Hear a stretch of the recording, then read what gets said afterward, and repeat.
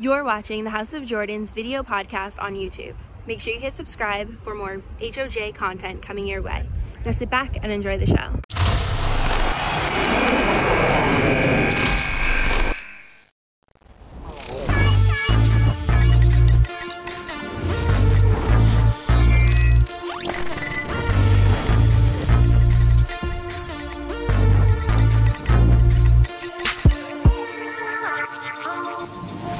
Welcome to the House of Jordans podcast, episode 27 on the Bench Clear Media Network. Be sure to check out the great Bench Clear Media content at benchclear.us. My name is Chris. You can find me on Instagram at Chris underscore HOJ. You can find me on Twitter at House of Jordans. You can find us on YouTube at House of Jordans, not the House of YouTubes, the House of Jordans. And I'm here with My name's Kristina. You can find me on Instagram and Twitter at Kristina's PC.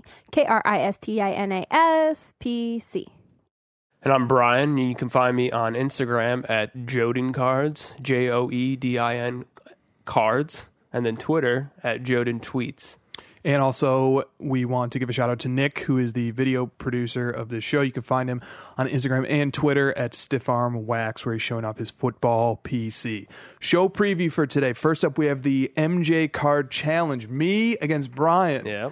For who found the better steal on a Michael Jordan card during MJ Mania. Then we have Kristina's Corner, where we're going to talk about the forthcoming 2019 20 National Treasures release. And you're not going to believe what these cases are pre selling for. Goodness.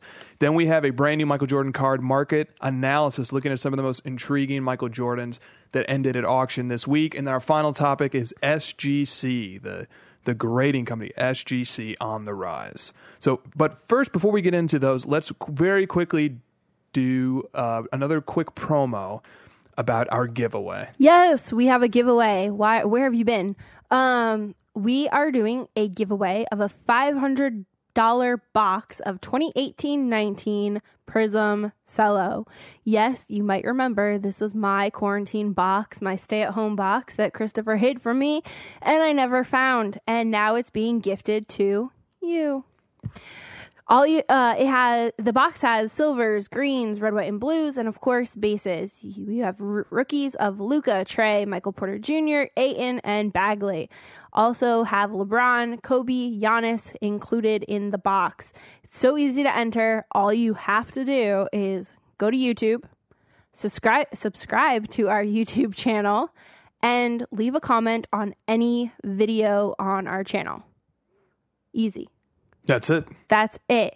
Once we hit 1,000 subscribers, we will be randomizing this box off to the pe- the person who fulfills both requirements. Yes, so a really quick a recap on the rules. All you have to do, you have to subscribe to our YouTube channel, you have to leave a comment on one of our videos. That's it. Subscribe to our channel, leave a comment.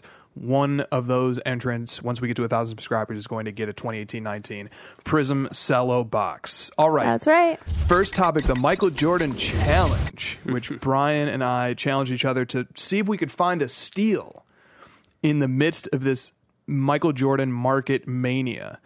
So, leading into the first episodes of the Last Dance documentary, and by the way, if you want to get our thoughts on that, we recorded an entire video, and we're recording videos every Sunday night immediately after we go live on YouTube. We give our thoughts about the Last Dance documentary. So, this Sunday, every Sunday that it comes out, we're doing that. So, if you want our thoughts on that, that's a separate thing. And it was So make fun. sure you subscribe to our YouTube channel and set your notifications so you know when we go live. Absolutely. Now, this challenge, it was no easy task because in No. the week leading up to the Last Dance documentary, everything across the board, Everything was just going nuts Right. in terms of prices. but we had faith that there were steals still to be had. That there, yeah, and we even ran across some of the same ones ourselves. we were kind of wi- withering down to which cars we were going to choose. we sure did. And and so you know, we looked. You know, there's options. You got '90s cards to look at. You got 80s cards to look at. You got inserts. Do you choose a base card? Do you choose a parallel? Lots of different choices to to to start from and sort of narrow in. And so, you know, obviously the thing here is to pick a steal. And the question is, how do you know it's a steal? You know, how do we know that we actually bought it at a good price, considering Michael Jordan card mania is going on right now? And the answer is simply, if it was a steal, then that means we should be able to sell it for more. Right. Right. That means we would have bought it at below the market. Yep. And if we were to turn around and sell it, we should be able to get more money for it. That would make it a steal. So we each picked a card, but before we reveal the card, what were your strategies? Okay, because we like we really kind of started looking in earnest like the weekend before Yeah. the weekend of the Last Dance documentary. So, what were your strategies looking through eBay to try and find a steal? Well, I was looking originally for something of a, a pretty high grade because I was thinking that would be a good way to go about looking for steals. But a lot of those cards were going for a lot of money, so it wasn't necessarily a, a good option or opportunity that I could find for that. But I decided to go with something more in the lines of something I thought would be popular and something that lots of people um, want to attain. Um, so that was kind of my strategy uh, towards what I was kind of thinking, and something that doesn't necessarily have like a whole lot of a huge population, but Yeah, that's that's a really great you know uh, approach. Like mine was similar. I just I went to eBay. I filtered to everything that was you know for sale, bin or best offer between two hundred and thousand dollars. I thought that's like a nice little sweet range. yep, And then I just started looking for stuff that you know using my experience in the Michael Jordan market that felt like maybe it was underpriced. Yep. And you were doing something similar, and we stumbled across some of the same exact cards. Yep. We both stumbled across, for example, a raw card review 9.5 of Warp Speed. Yep. Um, which was listed on eBay at the time that I was looking at it. It was 7.99 OBO, mm-hmm. and I made an offer of 600. It was rejected. Then I offered 650, and it was rejected. And then the seller sent me a message and he said, Hey, I didn't realize this card is only a pop 18. Uh, sorry that I didn't accept your offer. And by the way, now I want $1,000 for the card. So he upped the price to $1,000. And so I was like, okay, well, I'm out. yeah, Um, it- yeah. it- and Even then- if it's worth that much, it's kind of like, uh, well, you just did that. I'm, I don't. I, it's like the principle. it I'm is like, a I'm- turn off yeah. that, you know, it, it is. And the card sold. No, of, course, yeah, yeah. Um, and the PSA 10 sold uh, at auction yesterday for Mm-hmm. over $1,100. And the PSA 10 pop is like twice the BGS 9.5 pop, which was only 18. So I don't know, maybe a 1000 was actually kind of close to the market value for a 9.5. I felt like that was too high. 600, I was in. Yeah. A 1000, too high. Uh, so didn't pick that one. But we did ultimately each end up picking a card. So I'll reveal the one that I picked first. Uh, the card that I picked is the 95 96 Ultra Gold Medallion Michael Jordan. I picked this card because, uh, on the one hand, and of course this was going to happen, I just really like this card. Yeah. Um, so, you know, maybe there were better steals out there, but like when I see a card at a good price that, that I also like a lot, Yeah. that puts puts me over the edge. You know, It does, but it also makes it a hard card to do this challenge for because you're Very hard. selling it. So. Very very hard. So i paid $800 for it. I bought it on monday april 13th and yeah like i said it's, it's a it's the first gold medallion to michael jordan. Comes from a great product. I always loved ultra. And bgs 95 the population on this card is 10 yeah, so um, I've actually owned one of the other 9.5s previously. Um, so I, I once owned it. And I have one of the other 9.5s here temporarily. Uh, and then when I, so I, like I said, I paid $800 for it. A PSA 10 two months ago had sold for a little bit more than $800. So that's not even the all time highest comp recorded. Now, of course, Yeah. PSA does command a bit of a premium, but um, the PSA pop is higher. And so I don't know. I felt like that was a pretty sweet spot, but we'll see. We'll see. Uh, yeah. we'll we'll be announcing shortly how we're gonna sell these cards. But before we do that, what did you pick, Brian? Well, so I chose the 1996 Topps Chrome uh, Michael Jordan, and this grade is an 8.5 BGS 8.5. Um, it was graded a pretty long time ago. I think when I checked, it was 2013. Um, so a little bit of an older slab, and uh, I I believe it's a little undergraded just by appearance. I think uh, so. That is a, a another reason why I picked it up and why I was able to get uh, a decent price for it. I paid three hundred twenty five for it, um, and you know this set's a pretty important set. It's the first you know set of Topps Chrome, um, Kobe Bryant rookie cards in it. Uh, The you know, refractor version of this card's going refractor. crazy right now. Yeah, Right. the refractors are so sick too. So, um, but uh, yeah, it's a just a really cool card. I think a lot of people relate, you know, Prizm to this, so that's also another connection there. I feel like you could find. So I agree. So what we're going to do, we're going to send both these cards to an auction house. Um, and then we will watch in eager anticipation and see how they perform. Then we'll report back and see if we found steals or if we overpaid or Yeah. maybe we just And who paid the right won. price. and who won.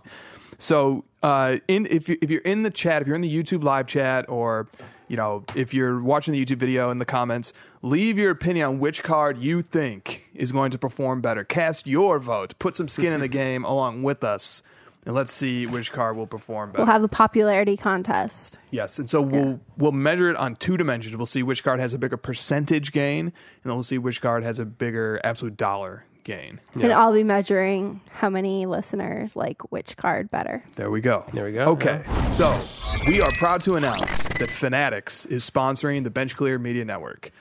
All you need to do is visit benchclear.us slash fanatics. That's benchclear.us slash fanatics. And you will get 20% off your entire purchase. 20% off. Twenty percent. Now, this is a win win because you get a nice discount at Fanatics, and the Bench Clear Media Network will get a small commission.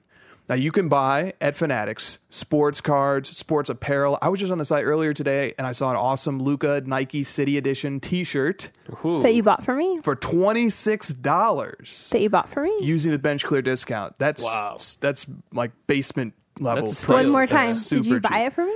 So all you have to do is visit benchclear.us slash fanatics, benchclear.us slash fanatics, and you will get 20% off your entire purchase at Fanatics. Okay, up next, we have Kristina's Corner. 2019-20 National Treasures basketball is finally coming out. It is. It is. So, welcome to Kristina's Corner. Uh, before I go on to that, I just want to also shout out that this episode will release on Friday or Saturday, depending on if you're listening or watching on YouTube.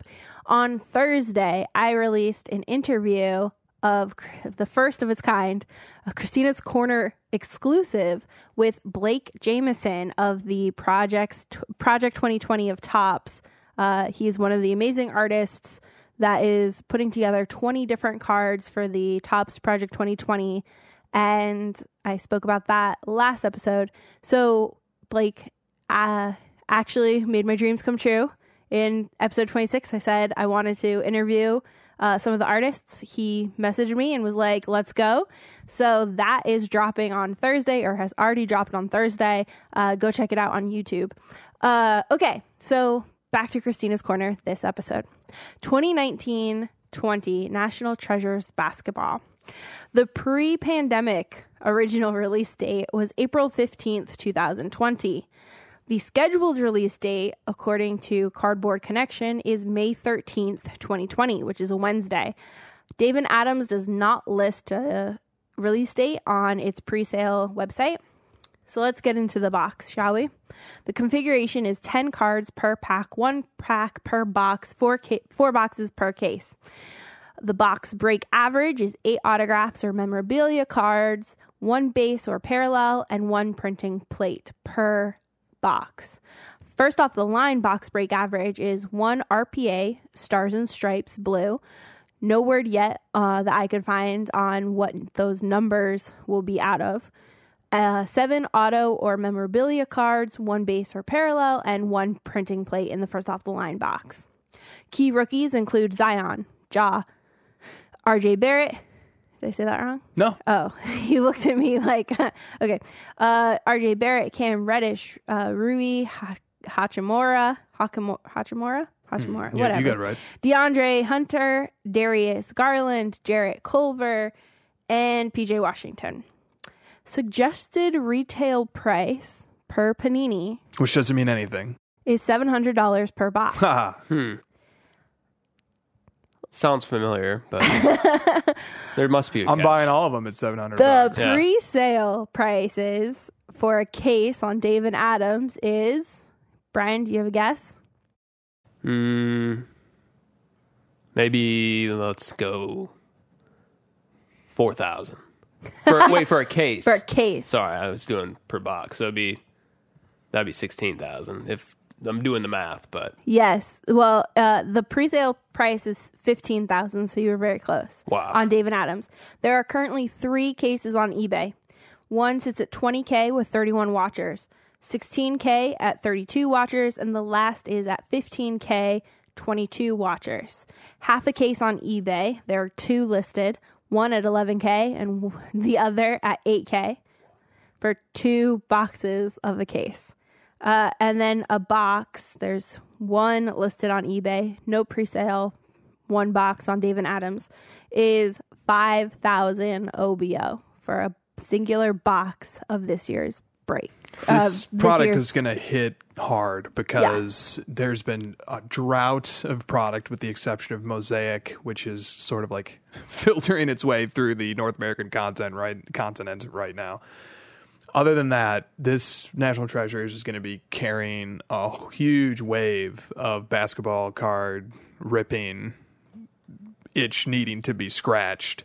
And we're not ripping any of it at those No. prices. Oh No. my goodness, that's ins- And that's- unbelievable I mean- prices. But the, it's based on the 2018-19 box values. Right. That's Right. how this market has been established from the very start. Yep. If they look at the 2018-19 products and people pretty much say, well, you know, that class has Luka and Trey, this class has Zion and Ja, it should be the same value. And that's been said. So that doesn't leave But- a lot of room for growth. But, you know, we say that and then next year these will be selling on the secondhand market for $30,000. Those weren't Right. the prices though last year at No, they're the pre-sale. prices now. Yeah, but that's the price now. Yeah. Which is why it doesn't really make sense to me because first off, we've only seen Zion for like two months play.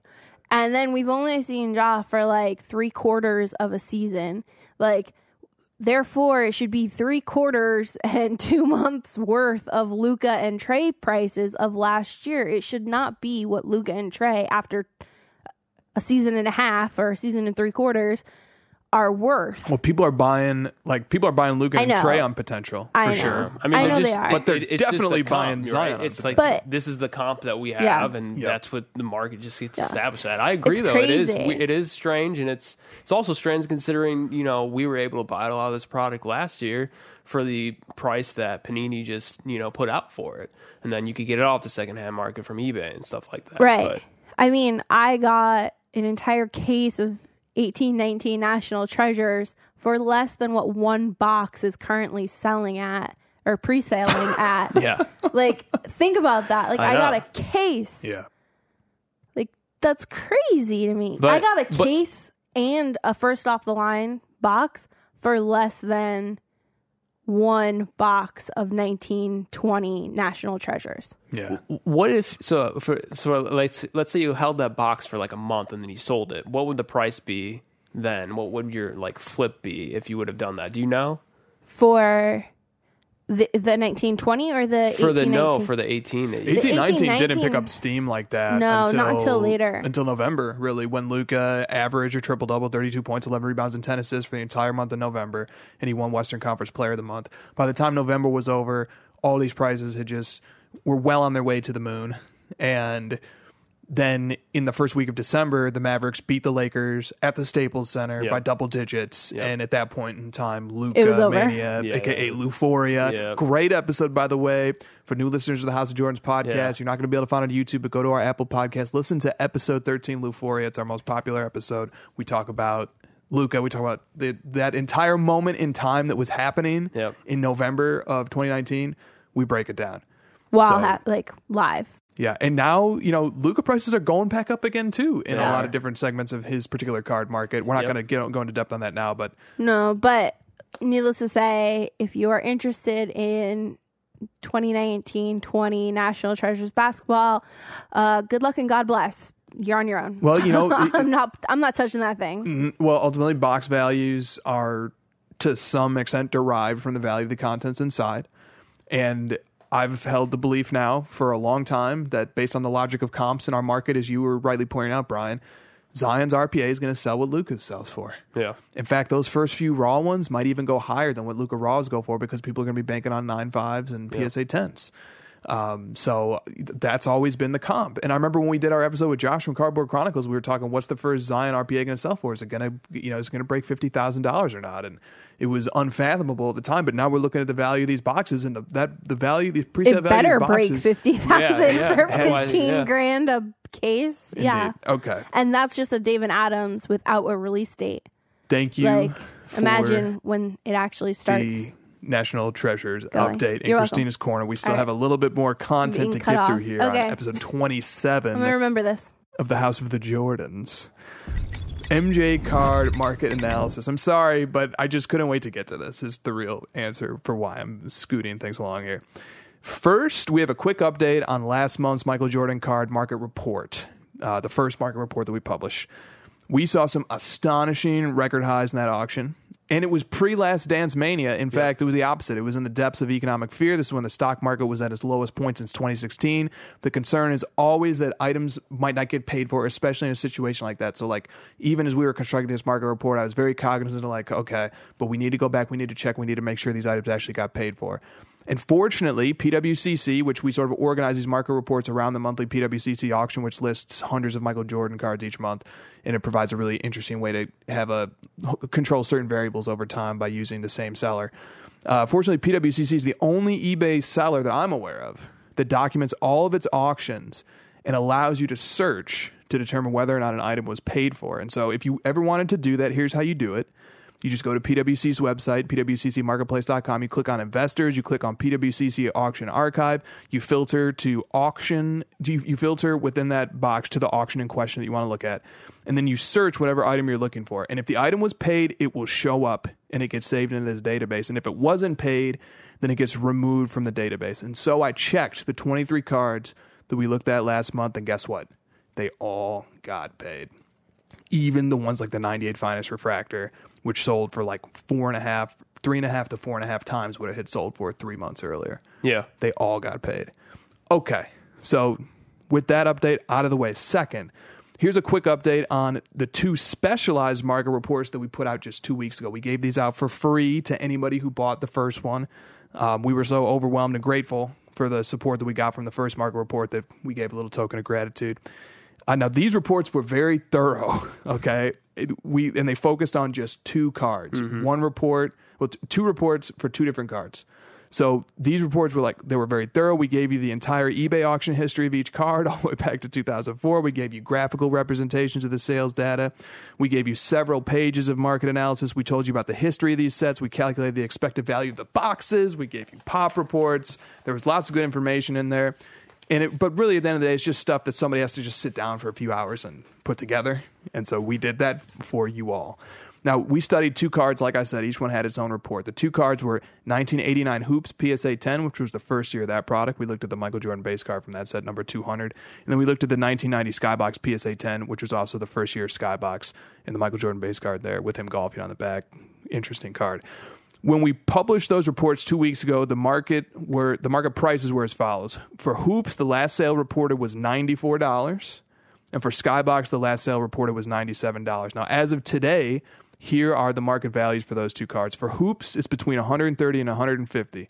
So that card's up about 50% over the past two weeks, and there are some outliers in the 200 plus dollar range. Skybox now sells for 250 to $300. It's up about 180% with some outliers in the $350 plus range. So both cards have had strong performances over the past two weeks, especially for high pop cards, which is covered. Why do you think that the Skybox, because they were both in the upper 90s when we published these reports, and now the Skybox pulled way ahead. Why do you think the Skybox has outperformed the hoops? Personally, I think it's because of the aesthetics. Um, as much as the hoops has like a, a cool look to it and it's got some style, um, I just think that the Skybox is a much more aesthetically pleasing card. It was lower pop as well. The pop is like a fourth of the hoops pop, and they were both very difficult to gem. Yeah. But but but there's no shortage of them in the market now. Um, so and what do you think the future of this card holds throughout the duration of the Last Dance documentary and then afterwards? You know, it's hard to say, you know, because if it's a high pop card, it makes me think that people would want to maybe hold it if they're because I don't know why else you would be buying a card like this unless you were planning on holding it.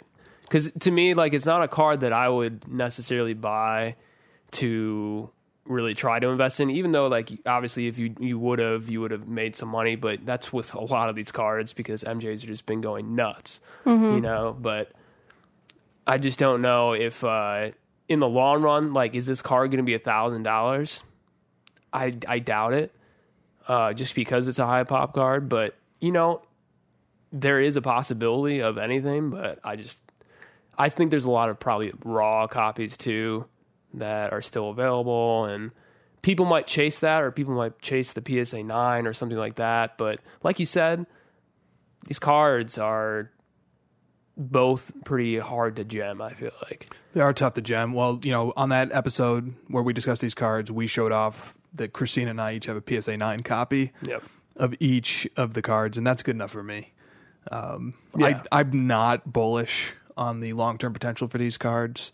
Um, I do think that they are really interesting and they have some historic import to them. Yes. Uh, being, you know, PSA 10s um, of the first year of Hoops and Skybox, that's really cool. Yeah. And it's, you, you couldn't go wrong having a card like that in your collection and enjoying it. No, I mean you. You. I know you've always really liked that card. Yeah, the have. Skybox in particular. Yeah, I've, I've always thought the design was way ahead of its time. Yeah. sort of a precursor to what we would see in the '90s. Yeah, beautiful card, but you know, these market prices are very, very strong for you know cards that are super high population relative to the Michael Jordan market.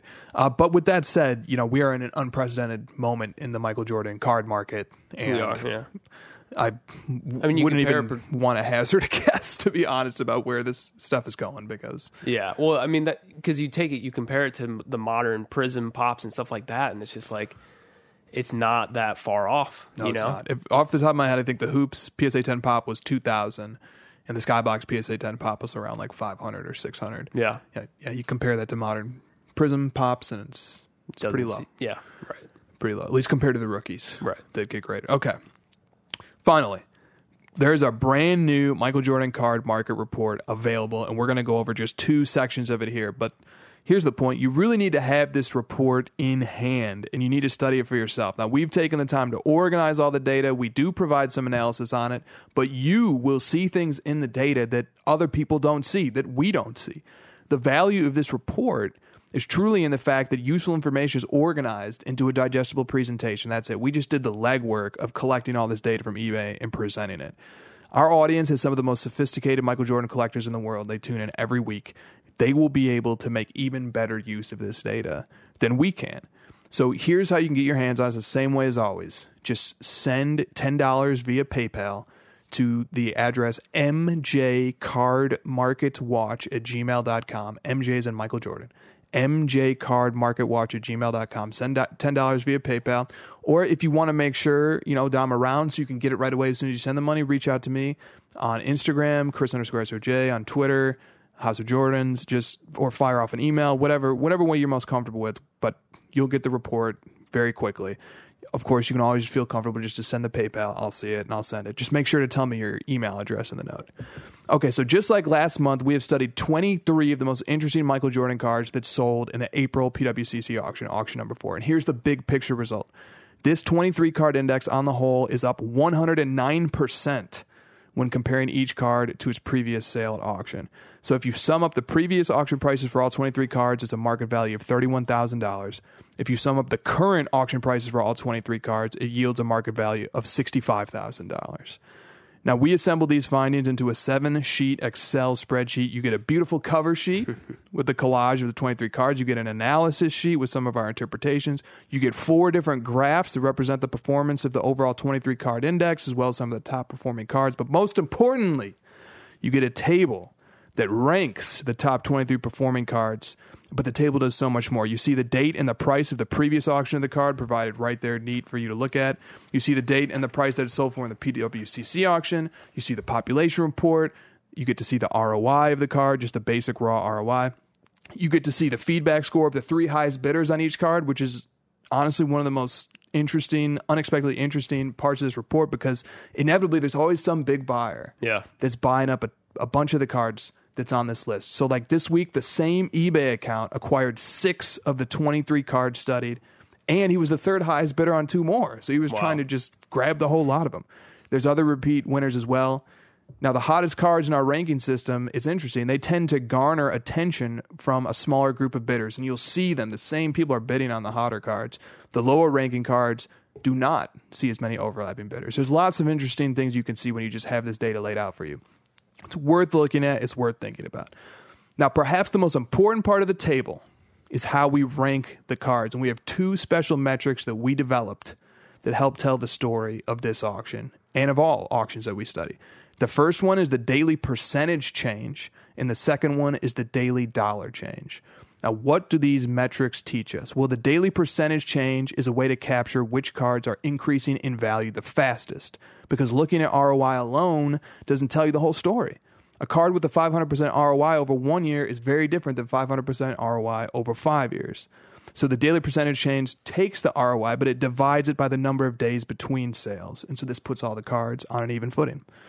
So here we have the top five fastest increasing cards in terms of ROI. Number one, you will not believe this. Number one is the 1994 Flair PSA 10 Michael Jordan base card. Wild. Is the fastest gaining card of all 23 cards studied. And I studied more, but I trim it to 23. Right. This was the fastest performing in terms of ROI growth, the 94 Flair PSA 10. Number two is the 1994 Finest Refractor with coating PSA 9. Nice for that card to get a bump It is. because I mean, that card had been flat for years. Oh yeah. And then in this auction, it ended up doing about 1500 It's a high pop card though for a PSA nine, but with the actual coating on, I believe it's lower. Yeah. Yeah. And that the pop is like divided. So Right. you really, when you're looking at the pop, you want to look at both. Right. Number three is the 1998 Metal Universe PSA 10 base card. Okay, so it's chase the base. Yeah. It's the invasion of the base. I made a post on Instagram about this, and I'll just briefly touch on it here. The logic of the Michael Jordan card market has been inverted for a long time. When the Michael Jordan card market was primarily populated by '90s collectors like us, basically, Yep. or people who started with '90s and people who collect Jordan, we all put inserts at the top of the pecking order. Those cards sit atop the hierarchy. We love the inserts, we chase the inserts. That was the logic of collecting in the 90s. But modern card collectors don't care about inserts. And for the most part, with some exceptions, inserts really don't get that much attention. You know, you have some you you have like downtown, you have Kaboom, you have Color Blast. You have certain inserts that are in fact chase cards, but for the vast majority of the time, modern collectors are really interested in base cards and the parallels to the base cards. Well, modern collectors suddenly became very interested in Michael Jordan cards and they brought the logic of modern collecting with them. So now they come into the Michael Jordan card market and they're like, oh, these inserts are cool, but where's the base cards at? Yep. Where's Prizm? Oh, you don't have Prizm? What's like Prizm? Oh, Finest? Uh, Chrome? Metal Universe? These are the three big, you know, beautiful base card sets. I mean, Metal Universe is barely a base set, though. It is. Metal Universe rides Metal the line. Universe is an entire set of inserts. Yeah. Metal Universe is like uh, having a mistress if you're chasing base cards. Metal, Oh, yeah. you, you almost are cheating on the base card by going over to Metal Universe, but you're not because it's still technically a base card. Number four, moving on. Number four is Natural Born Thrillers SGC 10 Gem Mint. SGC 10, keep that in mind. We're going to be talking about SGC. Natural Born Thrillers. How about that card from 1995? You know, I, not a base card, it's an insert. Yep. And a beautiful insert. Oh yeah. but still it's uh, you know that's that's never been one that you would necessarily expect to see on the top 5 fastest increasing cards however we did point out in an episode oh maybe a month month and a half ago that natural born thrillers net assets and we had one other card were cards that were flying under the radar Yeah. and we need to remove natural born thrillers from that list because it is no longer under the radar after it sold for i believe it was over $3000 Yeah. Number five is Apparitions PSA 8. PSA 8. So this is PSA something we 8. touched on in the last episode. We'll touch on it again here briefly. PSA 8, the stuff that's a little bit cheaper, Yep. a little bit lower grade. That's the stuff that's seeing some of the best raw daily ROI percentage gains.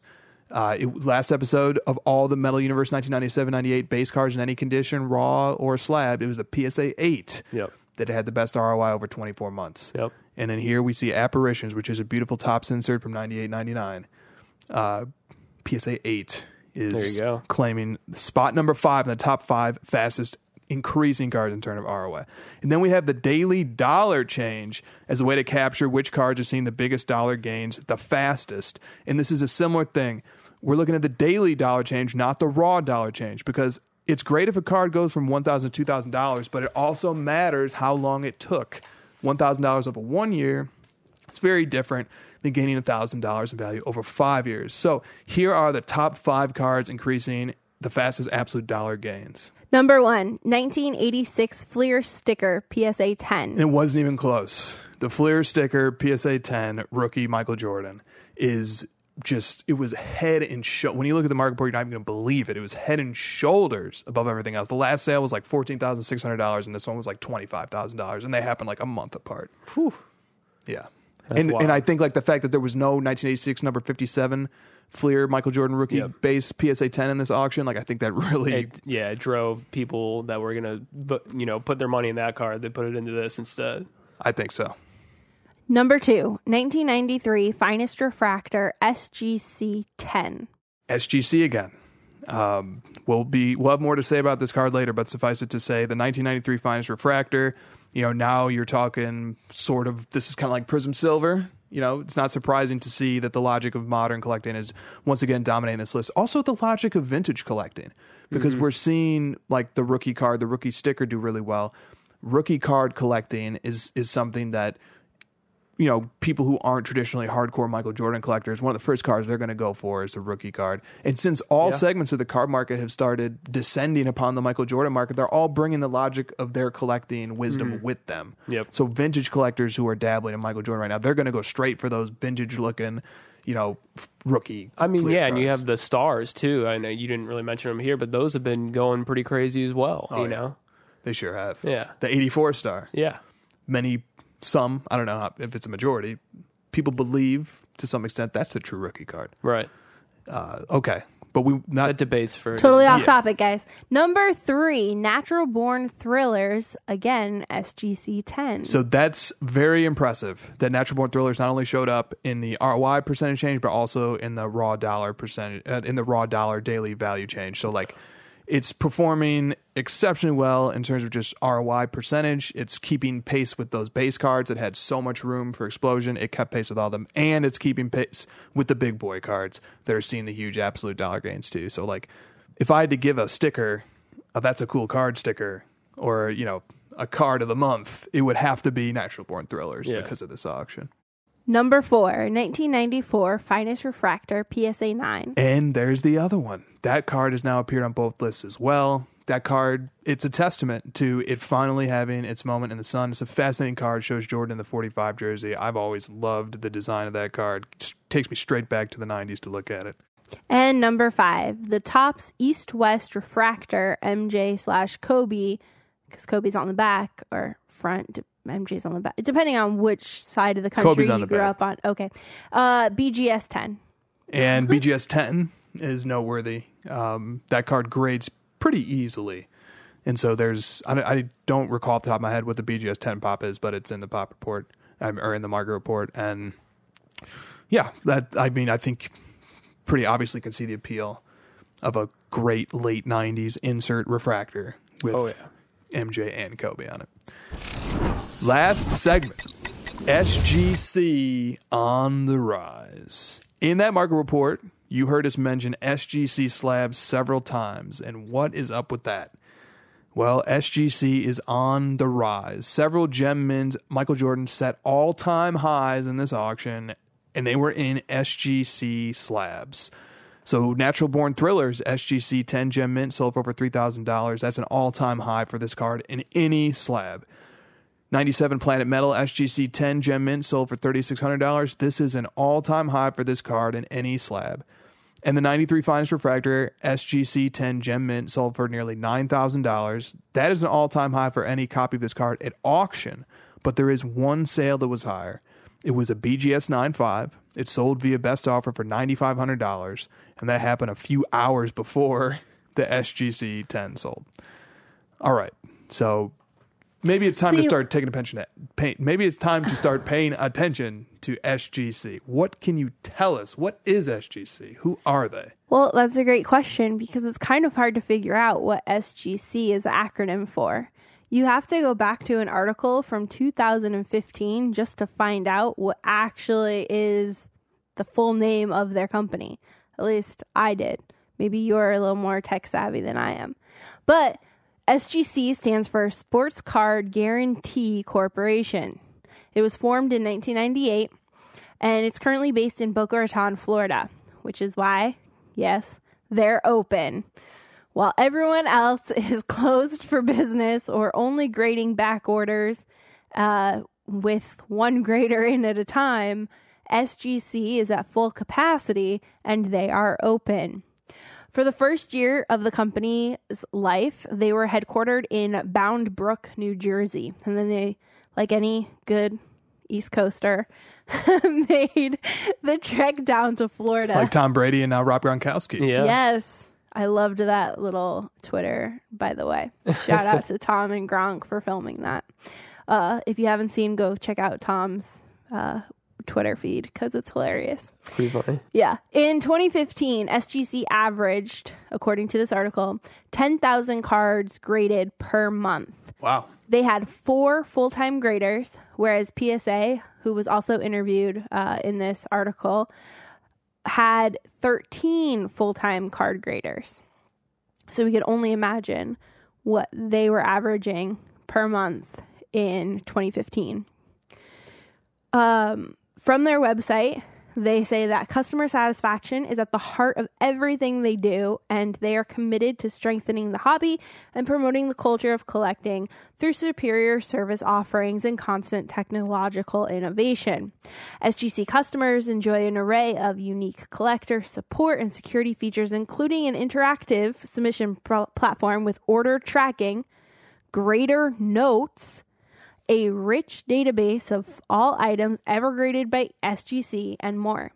One of the things they feature on their Twitter page, besides uh, pretty cool graphics in front uh, behind their cards uh, and some witty posts, uh, they have constant updates of where your card is in the grading process received, grading, graded, shipping or verifying or whatever, it's all tracked online. So that's a really cool feature that they offer their customers that I was impressed with. Okay. That's SGC.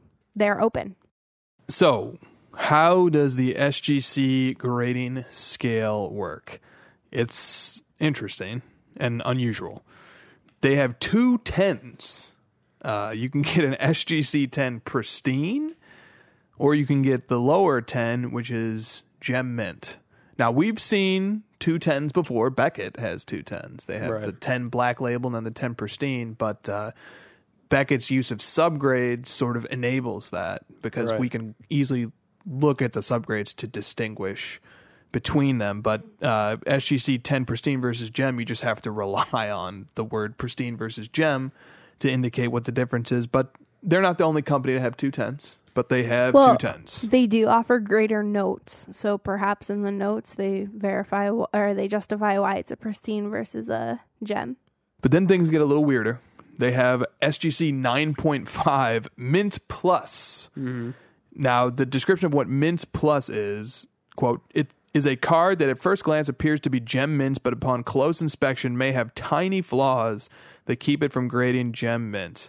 So this is a very unique grade. PSA and BGS don't have a Mint Plus Right. grade. So this is kind of like a PSA 9.5, which doesn't exist. Right. Or like a BGS 9.25, which also Nine and a quarter. doesn't exist.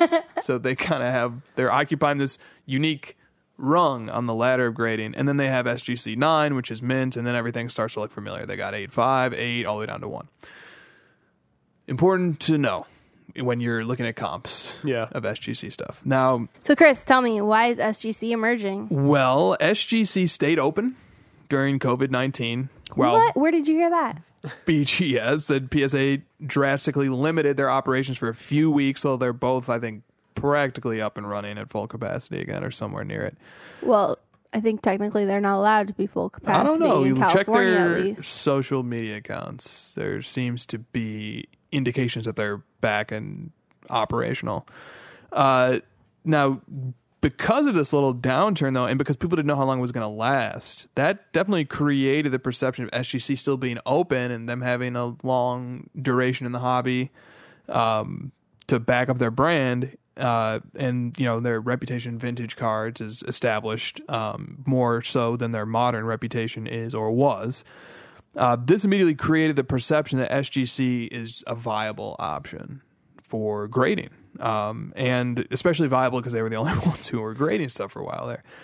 Now, SGC also has been actively marketing the values of their cards they're selling on eBay. You can see that in their cool fire graphics on their social media accounts.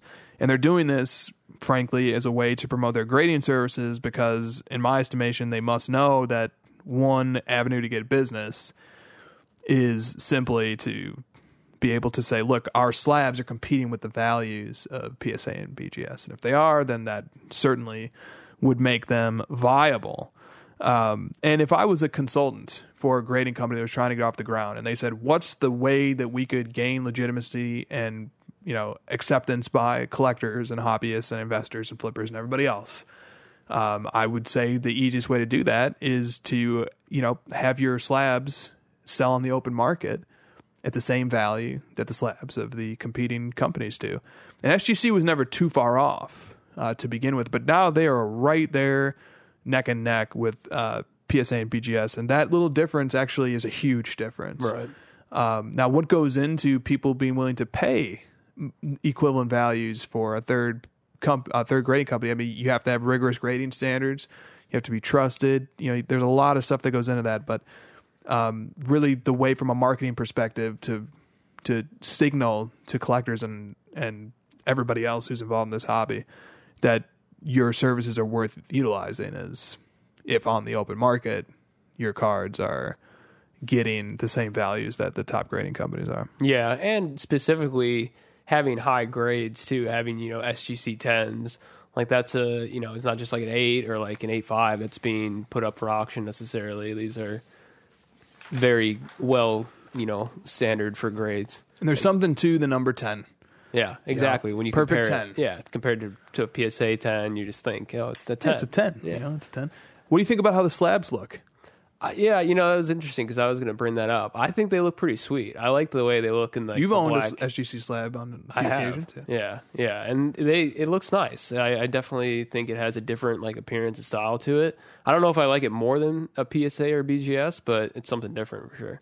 I find it takes a minute for your eye to adjust to the slab Yeah, because you're so used to just seeing the clear plastic that you're just like, wait, what? What? Wait. Oh, okay. At least me. I'm like, is there a big black border around this card and it's like a random size? No, that's just the case. I'm okay with it. Uh, I think the slab looks okay. Um, from the data analysis point of view, it's very frustrating to now have three yeah, different grading brands to track and especially because SGC doesn't have a lot of historical data on these Jordan cards I've been selling. So like when I had to do the market report for some of these SGC records that were being set for these cards, I had to compare like SGC to PSA 10 previous stuff. And that's then you're really not exactly apples to apples, but like, and then you have SGC 10 pristine, which is different than SGC 10 gem. And uh, so gets it- complicated quick. it does. It, it adds to my workload. But, the, you know, on the other hand, what value does SGC add? And with the backlogs at PSA and BGS, and like earlier this year, the PSA backlog was a million plus. It's probably even more now. yeah, BGS backlog presumably got really bad because they terminated their guaranteed turnaround service time, which was very sad. So these car these companies, these grading companies, PSA and BGS, are clearly overwhelmed. And so SGC can come along, and if they are indeed a viable third option, which they seem to be, and people seem to trust their grading and they seem to like the way the slabs look, um, that can definitely help speed up turnaround times, and that can help people get their cards graded more quickly. So, last question of the show Is SGC here to stay as a competitor to BGS and PSA? Oh, that rhymed. I think so. I think they've been here for a while. Um, I think they're going to be here to stay, but are they going to carry this new pristine, you know, this new uh, level of perception to them forever? I don't know. You know, once BGS and PSA open up again, are you just going to see more people submitting cards to them opposed to S- SGC? I don't know. And then with when you add in the backlogs of BGS and PSA, like you have to think if I'm trying to flip my card or I just got a card and I want it graded, I want it in hand, Yeah. like if it's a big card and you bought it raw and you want to grade it to make sure it's authentic so that like and you have to get it in between 30 days so you could return it if it's not authentic, which I um, would never do. But I'm just like, you know, you would want to go to someone who can actually get it done in the time they say they can get it done, which unfortunately PSA and BGS, or fortunately for their bottom line, um, it cannot do. Yeah. I think when a company hits 22, like you're no longer worried that they're going bankrupt or they're in their first five years of business and they're gonna just go out. Um, I would be surprised if we don't see more grading companies start popping up. To be honest, um, like I think the market is out there, and if you can stick in for 20 years, you see that you will be a top dog. Um, but I- I think that collectors are hungry for it and they want something with like guaranteed fast turnaround, um, authenticity, uh, and just Good looking slab. yeah, a good looking slab Very important. and a professional. Like we will tell you where you are during the grading process. I, th- I think that makes all the difference. It does. I mean, PSA and BGS do that too on some level. You know, you can log into your account and see it. If you're doing a group submission, you can't. Yeah. You're, Right. you're in the dark completely, but or well, depending on who you sub with, I guess uh, there are different levels of updating available. But all right, that will do it for SGC. And I have actually a final thought here You do to, to kind of put a bow on this episode. It's a question, in fact. All right, we are going through, and I think it's useful to step back for a second. We are going through a moment of MJ mania, Yeah. and we've been through Euphoria, and we've been through, you know, longer term incremental increases in Jordan values, and we endured the PMG green thing and how that kind of set the whole market on fire for a while. But we haven't seen anything like this in Michael Jordan. We haven't seen anything like this in the hobby Right. ever, where all sports are suspended. All eyes are on Michael Jordan for the next four, three and a half weeks. Last Dance documentary. I mean, it's one of the most celebrated, universally celebrated moments in sports culture that I can remember, where it just feels like everybody's on the same team, Yeah. uh, all kind of rooting for the same thing here, and the market is going absolutely bananas. And of course, if that energy is eventually going to subside, and the documentary will eventually come to an end, and things will go back to focusing on other news events and sporting events, and God willing, live sports will return again. Right. So, with that said, my philosophy on this is enjoy the ride, absorb. As, as MJ collectors, you were not supposed to have this. this is something special that you know you're you're collecting the greatest player of all time. Yeah. You're not also supposed to collect the greatest prospect of all time, Yeah. whose values are going three to five x over the period of a week Right. Enjoy the ride, recognize it for what it is. Okay? Recognize this moment for what it is. I don't have the crystal ball, the glass ball. I don't have the crystal ball. I don't know what's going to happen after this because this is such an unprecedented moment. I do think that it's realistic to expect that at least some of these values are going to retreat. Um, we haven't seen any grails hit the market. Hopefully, we will in the next PWCC auction, but I think those cards um, might not retreat to the same extent. And rarer stuff and like stuff that's highly collectible uh, is probably going to not go up quite as dramatically.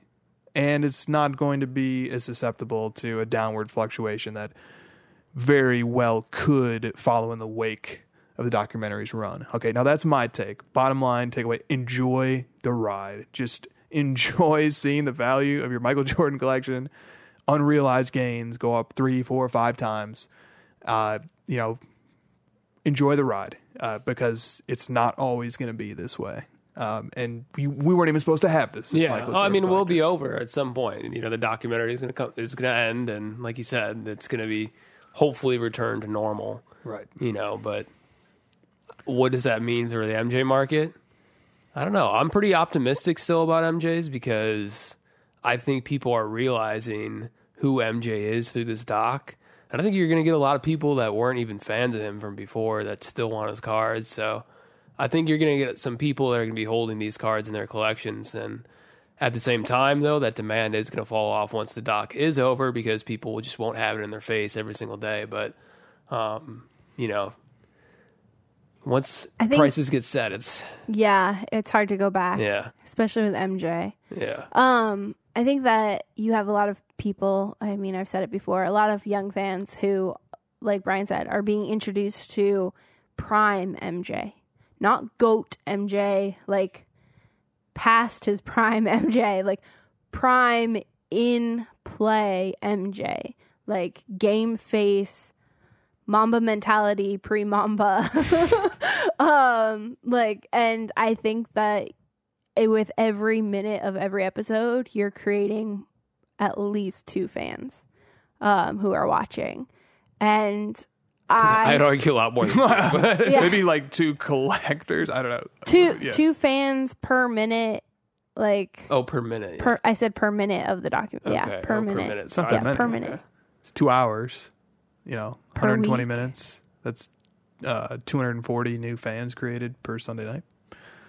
Mickey, maybe multiply that by Well, the the numbers New were six fans. million. I said new right? fans. That that Yeah, you that watch watch, or like yeah. something. Six point one. that's 6.1? just on ESPN. oh, just on ESPN. The Yeah, that's not got the including Netflix. the Number is probably like a multiple. Yeah. uh, and that was just Integer that was, multiple. just the for- live that Okay. like the premiere that right, wasn't they kept playing it over. and it's on all the apps. You can watch it now. Oh. Um, so Okay. like, who knows how Yeah. many people? Uh, anyway, Yeah. um, like Chris said, enjoy the ride. Don't forget to subscribe to our YouTube. Uh, write a comment. Hit your notifications on YouTube so that you know when we're going live. And check us out on Sunday nights. Uh, YouTube premiere uh, of this episode is on Saturday nights. Come hang out with us. Let me clean that up really quick. Oh yeah, please. The podcast comes out Friday morning. It's on Apple Podcasts. Saturday night, we have the YouTube premiere of our show, which features the video visual enhancements. Sunday nights, for the duration of the Last Dance documentary, we are doing live streams only on YouTube immediately following the Last Dance documentary. And by the way, Nick, aka Stiff Arm Wax, is one of us talking heads in the Brady Bunch arrangement that we have going. the Tom Brady bunch. then during the week, also we have clips from the previous episode uh, that are broken down for easy consumption and easy sharing. So feel free to share your favorite clip throughout the week uh, on Twitter. That'll do it. Thank you for listening. Uh, enjoy the Last Dance documentary. Enjoy the ride.